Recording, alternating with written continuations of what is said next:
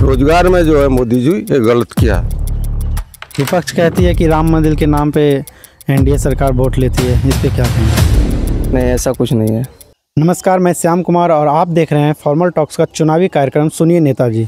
अभी हम हैं जमुई लोकसभा क्षेत्र के हरिहरपुर गाँव में।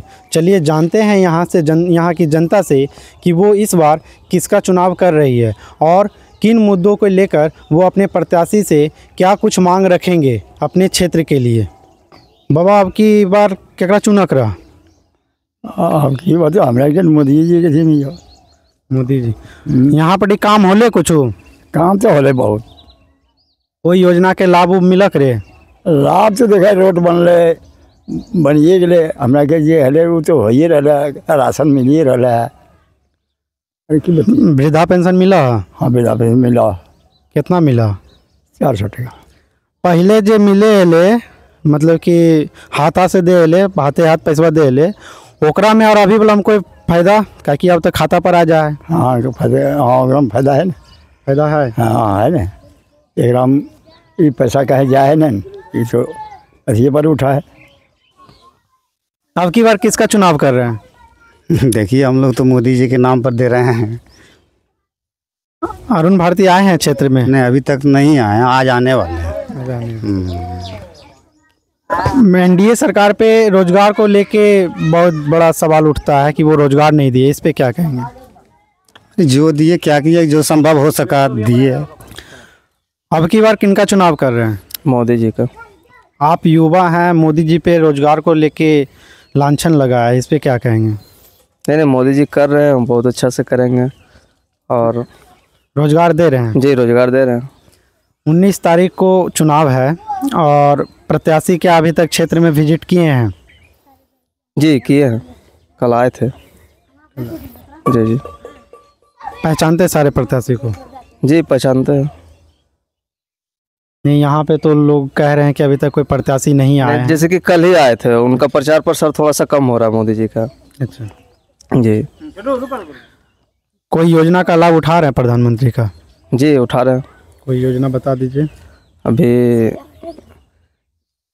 किसान किसान सम्मान किसान सम्मान निधि योजना वाला जो आता है पैसा वो आ रहा है हमारे यहाँ। और गेहूँ चावल फ्री में दे रहे हैं मोदी जी।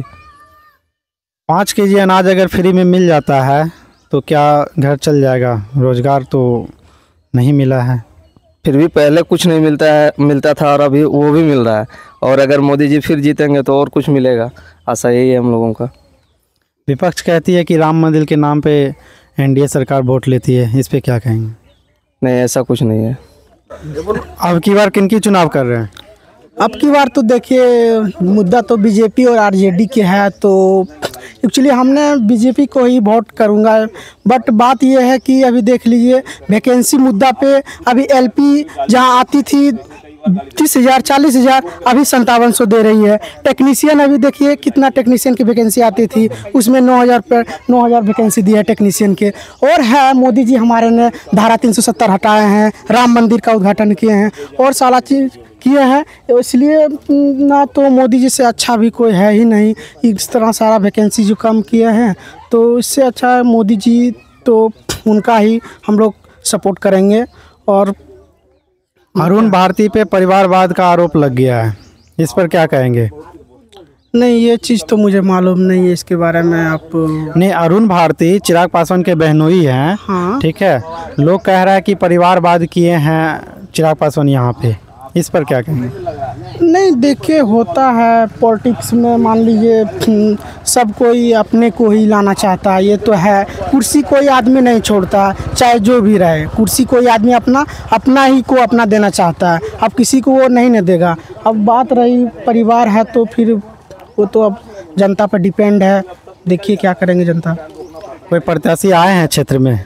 नहीं अभी तक तो नहीं आए हैं बट आज आने वाले हैं वही अरुण भारती जी। बोले हैं कि उन्होंने आज हरिहरपुर गाँव आएँगे। अब की बार किसका चुनाव कर रहे हैं?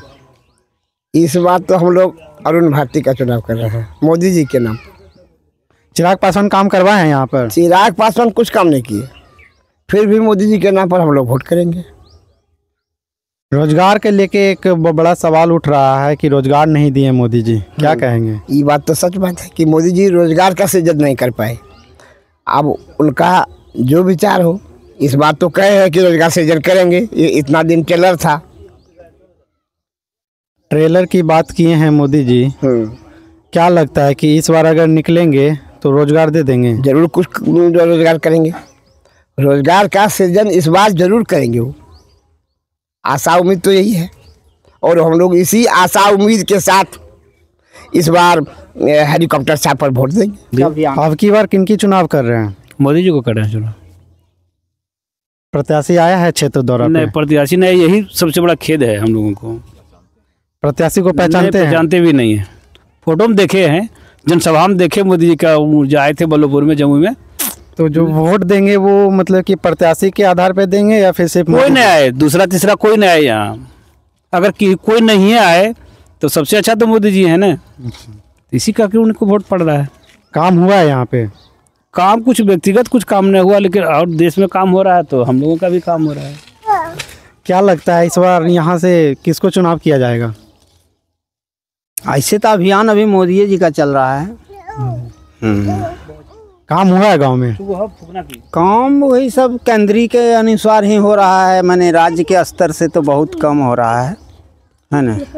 कोई प्रत्याशी आए हैं गाँव में अभी तक? अभी तो फ़िलहाल लगता है नॉमिनेशन ही हुआ है। अभी प्रत्याशी का दौरा सिर्फ़ जो है जगह ऑफिसे वगैरह बन रहा है। मैंने दौरा वाला काम नहीं हो रहा है अभी। नहीं कहा कि 19 तारीख को चुनाव है ठीक है? और अब बहुत दिन बचा हुआ नहीं है। तो प्रत्याशी दौरा पे आए हैं कि नहीं आए अभी कोई नहीं आए हैं इस गाँव में। कोई नहीं है। अब की बार किनको वोट दे रहे हैं? तो की बार यहाँ तो चल रहा है मोदी जी का। मोदी जी का ही विचार है इधर। तो नरेंद्र मोदी की ओर से तो यहाँ पे अरुण भारती जी खड़े हुए हैं। क्या क्षेत्र दौरा पे आए हैं? नहीं अभी तक तो आए नहीं। अभी तक नहीं कोई भी प्रत्याशी अभी तक यहाँ नहीं आए। गाँव में काम उम हुआ है चिराग पासवान के कार्यकाल में? चिराग पासवान के काल में तो हुआ थोड़ा बहुत रोड वोड भी बना है और मोदी जी का जो है वृद्धा पेंशन किसान को है और ये जो अनाज वाला कार्यक्रम है वो भी मिल रहा है। तो ये सब में मोटा मोटी ठीक है। रोज़गार के लेके बार बार सवाल उठता है कि रोज़गार नहीं मिल रहा है, क्या कहते हैं? हाँ इसमें रोज़गार के लिए तो मोदी जी ठीक नहीं किए और नीतीश कुमार भी ठीक नहीं किए, जो कि मास्टर का बहाली उन्होंने पूरा दिया, वो सब स्टेट को दे दिया, यहाँ का मारा चला गया। और मोदी जी जो है एगो मुद्दा ले लिया है मंदिर का और उसमें वोट ले रहे हैं और रोज़गार को ख़त्म कर दिए। रेलवे में भी निकाले तो पूरा ड्राइवर को पाँच हज़ार वैकेंसी दिया। और उसके बाद फिर भी इसी तरह सब में कटौती कर रहा है। रोज़गार में जो है मोदी जी ये गलत किया।